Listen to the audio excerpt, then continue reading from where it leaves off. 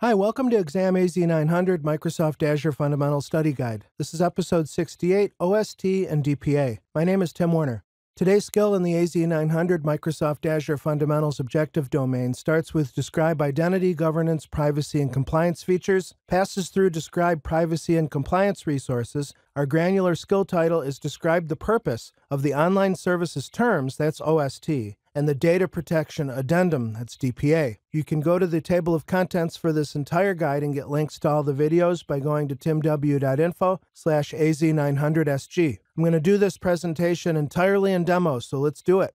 Okay, let's dig into this OST business. If you do a Google search for Microsoft Azure OST, you'll come to this page called Licensing Terms. And I want to draw your attention to this first paragraph. Let's look at it together. It says that there's a new product term site that combines everything from product terms and online services terms into a single, easy to navigate doc. Because the exam mentions this page, I'm going to spend most of my time here, but then I'll end the demo. We'll go check out the product term site. Basically, this is where you read all of the licensing throughout all of the Microsoft products. Now, we're concerned with Microsoft's online services because this study guide and the certification, of course, deal with Microsoft Azure. Think of the nearly 200 or so products that exist in Azure. Each has its own license terms, and Microsoft needs a place to put all of those acceptable use terms and usage terms and support terms, hence the need for this website. All right. So if we come down here first, it says that our product terms contains all the terms and conditions on how you get licenses for the online services based on your language. So if I click English, for example, a Microsoft Word document comes down that I'll open directly. I've got Office 2019 installed on this system. Microsoft, of course, is constantly adding new products to their portfolio and they make changes to their license terms. So they regularly update this document, hence, I guess, why they keep it in Microsoft Word format. We can see over on the left the headings throughout the document, or we could take a look at the old school table of contents. Let's take a look at both, actually. It's talking about their Windows Server and desktop operating system products and how the different licensing work per core, server, and all that good stuff. We're, of course, concerned with the online products, so let me try to find, there we go. Well, that's on premises Dynamics 365. Let's see, System Center, Windows, there we go, online services. So it looks like on page 52 of 129, we start getting into the documentation here. This is an important doc for you to have as a Microsoft Azure customer so that you and your team can do due diligence to figure out exactly the scope of your usage, what you're allowed to do and what you're not allowed to do with the various Azure products. I notice here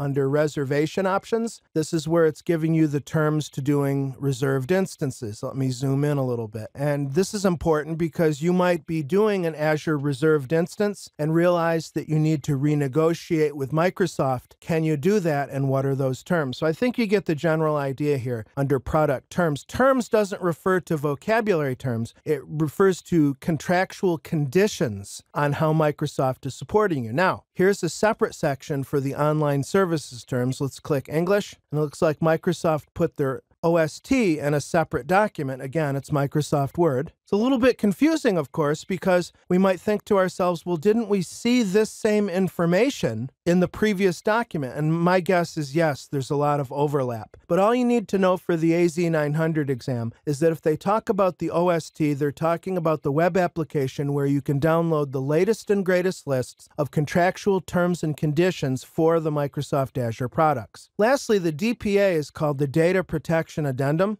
And let's just take a look at what the text says here. When you subscribe to an online service under the terms of the OST, the data processing and security terms are covered in this addenda. So it looks like Microsoft has a separate terms and agreements document specifically with regard to data and security. And again, that makes all the sense in the world. I don't know how up you are on tech news, but the Solar Winds breach is all over the news as I'm recording this lesson in late December 2020. And what's that all about? It's about security and it's about protecting proprietary data. So if I click the DPA English link, we, as you would expect, get another Microsoft Word document. Where it's going, who owns your data. Of course, it's your data. What is Microsoft's responsibility? What are the customer responsibilities? What's going on with data encryption and auditing? Good stuff if you like that kind of thing. I really don't like it, to be honest.